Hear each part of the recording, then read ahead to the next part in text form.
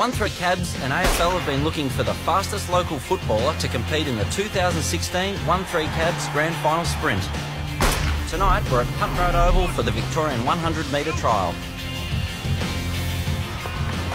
Hi, I'm Anne Fedorovich and welcome to the 1-3 Cabs Rapid Fire Quiz.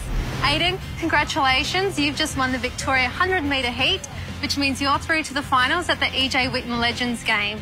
But before you do though, let's find out if you really are faster than an AFL player. We're here with Leigh Montagna from the St Kilda Football Club. Welcome, Leigh. Thank you. Guys, I'm going to ask you 10 questions. Leigh, for every question you get right, $100 will go to your charity, Maddie's Vision.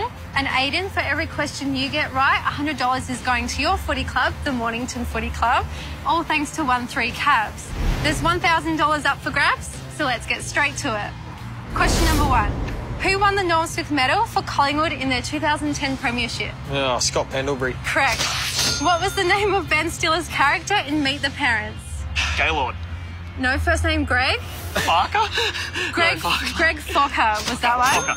Who captains Australia's Test cricket team? Now, Steve Smith. Yes, correctly. Who will coach Melbourne in 2017? Simon Goodwin. Correct. Which Hemsworth brother has Miley Chris. Cyrus? Liam.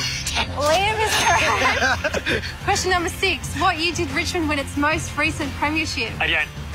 Guess again. 80. 80. Yes, Well correct. done, yeah, well done. What is the monkey's name in the movie The Hangover? Crystal. Correct.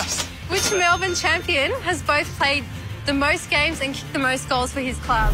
Schwartz. Dale Schwartz. No? Guess again? David Neitz. Yes, correct. Oh! Who won the first season of Australian Idol? Guy Sebastian. Correct. Oh, well done.